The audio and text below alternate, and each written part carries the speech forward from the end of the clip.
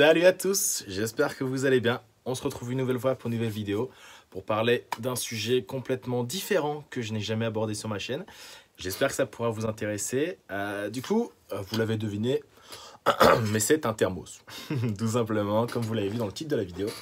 Euh, mon idée, c'est d'avoir une capsule temporelle, quelque chose qui est fait depuis oh, facilement les années 50 et j'imagine depuis bien plus longtemps encore. mais on en parle de temps en temps. Et il euh, n'y a pas beaucoup de vidéos sur le sujet, je trouve. Mais euh, du coup, euh, j'ai un petit peu regardé ce qui se faisait et je vais y mettre ma touche personnelle, comme vous le savez. À chaque fois, on rajoute un petit artifice, une petite modification. donc concernant ça, on est sur un gros thermos de 1 litre de Décathlon qui résiste à plein de choses. Je l'ai pris parce que déjà, on est sur un gros contenant quelque chose qu'on n'a pas besoin de fabriquer soi-même, de refabriquer des joints, etc. Donc pour faire quelque chose de plus simple et qui coûte pas non plus euh, trop cher. Ici, on a le bouchon avec un gros joint plastique qui appuie à l'intérieur de la collerette, plus le cache normalement qui sert à, boire, mais qui fera une, une, couche externe en plus avec une petite partie, euh, même pas de joint, mais juste en contact direct sur le métal. Et euh, l'idée de ça, c'est que bah, je vais utiliser ma machine sous vide pour remettre l'ensemble sous vide. Euh, donc ça fera une double protection. Euh, ce qui fera que le joint sera logiquement attaqué en dernier par l'humidité, le chaud, le froid, etc.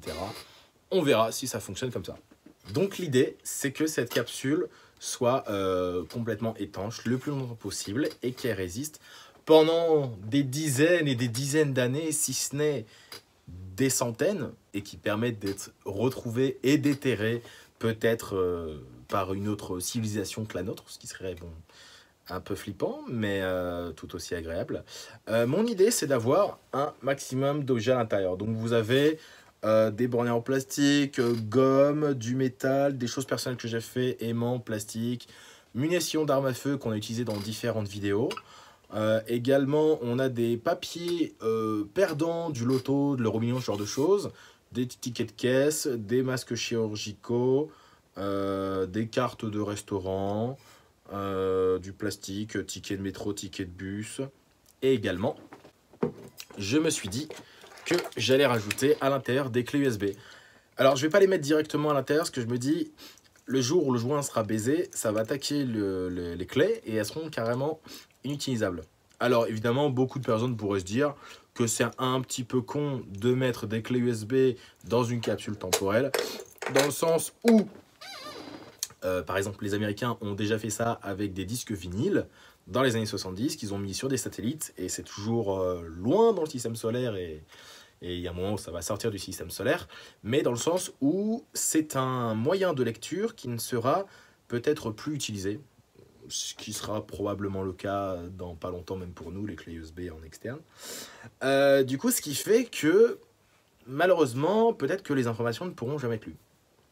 C'est une éventualité, une éventualité malheureuse, euh, je m'en bats les couilles. Euh, donc je me dis que peut-être que euh, bah, y aura toujours des musées et qu'il y aura la possibilité de voir le contenu de ces clés USB à un moment donné.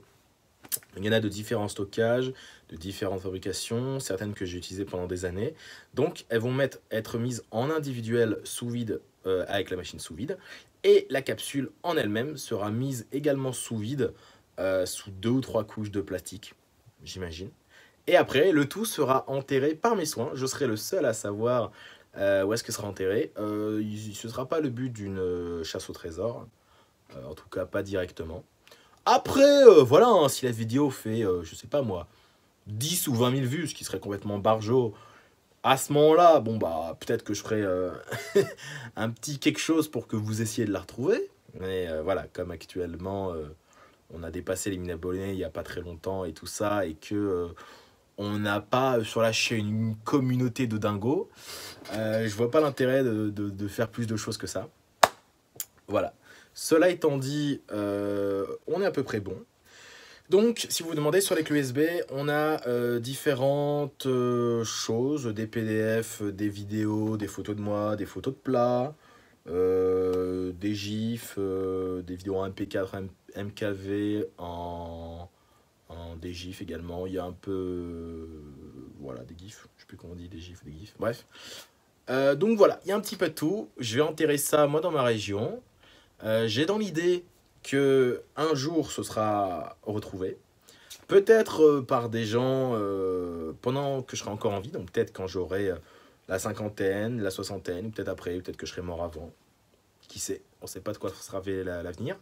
Donc je me dis que je mets cette capsule-là aussi planquée dans le sens où ça fera un marqueur temporel de, de ma présence sur Terre un petit souvenir et que bah, peut-être, ce qui serait incroyable, que ce soit retrouvé dans... Euh, le plus dingue, ce serait que ce soit retrouvé, je sais pas, moi, genre dans 50 ans par hasard, et que je puisse revoir les vidéos euh, dans euh, les vidéos de moi d'il y a 50 ans, ce serait complètement fou.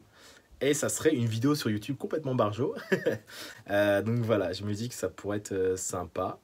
Euh, donc en tout cas, bah, n'hésitez pas à aller sur Facebook, sur Instagram, Tétard Prévoyant, vous avez les vidéos, les photos, etc. Il y a tout ce qui se passe sur la chaîne, sur YouTube également. Euh, et puis bah voilà, j'espère que cette vidéo pourra vous aussi vous donner envie à fabriquer une capsule temporelle de cette manière-là ou par vos propres moyens, de l'enterrer.